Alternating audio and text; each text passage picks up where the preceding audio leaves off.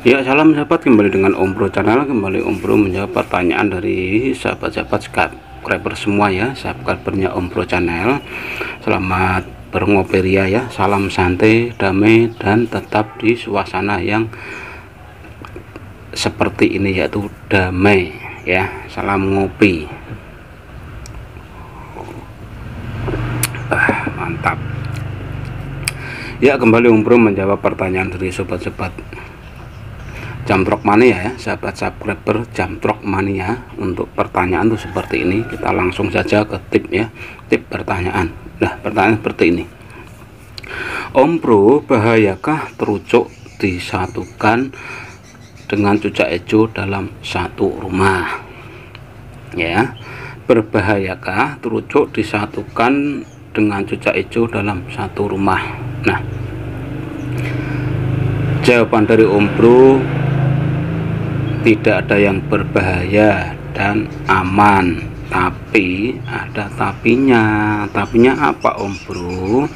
Tapinya apabila si trucuk itu disatukan dengan cucak hijau secara terus menerus dan itu bertatap muka efeknya cucak hijau itu akan over birahi atau OB jadi apabila anda punya terucuk dan cucak hijau dalam satu rumah lebih baik terucuknya itu dijauhkan dari cucak hijau ya.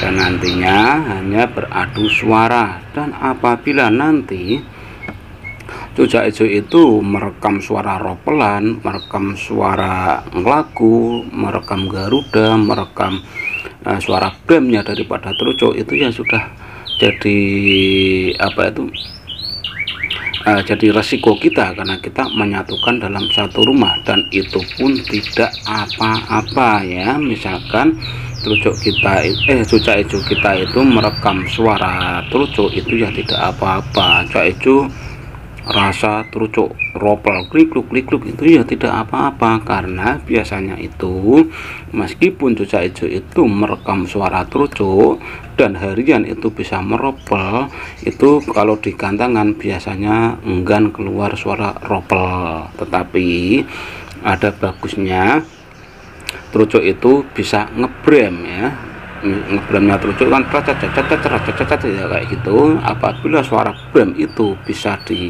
copy oleh cucak hijau itu menjadi nilai plusnya ya.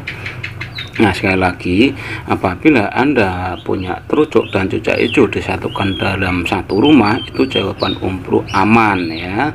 Asalkan tidak bertatap muka setiap hari jadi harus dipisah di ruangan yang lain. Misalkan cucak hijau di depan terucuknya di belakang ya. Dan apabila nanti keluar suara terucuk ropel suara ngeblem itu ya tidak apa-apa. Karena itu kan e, bagian dari isian itu isian dari cak hijau itu sendiri. Dan misalkan itu nanti kok keluar di kandangan cak bisa ngeropel itu kan sudah uh, masuknya ke isian. Jadi tidak ada yang berbahaya dan itu aman. Cuman untuk isian trojo itu nilainya tuh rendah ya. Beda dengan isian-isian burung-burung misalkan kayak violet kayak lebet kayak jenggot memang yang diutamakan memang isian-isian itu. Tapi apabila keluar suara ropel di atas itu juga tidak apa-apa itu malah menambah nilai e, dari penjurian itu sendiri.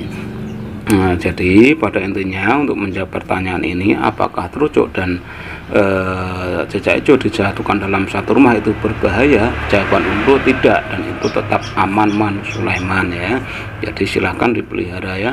Eh, sama-sama makan pisang itu pelihara aja gitu ya.